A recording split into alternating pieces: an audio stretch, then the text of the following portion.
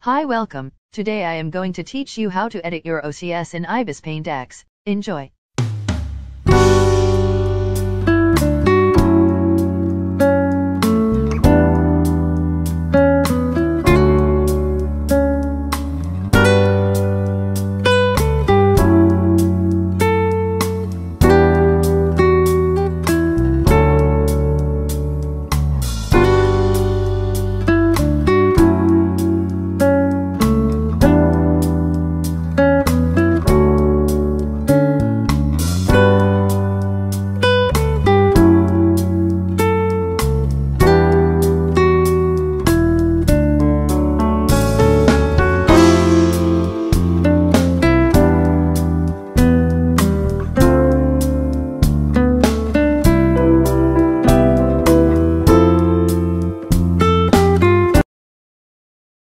Thanks for watching.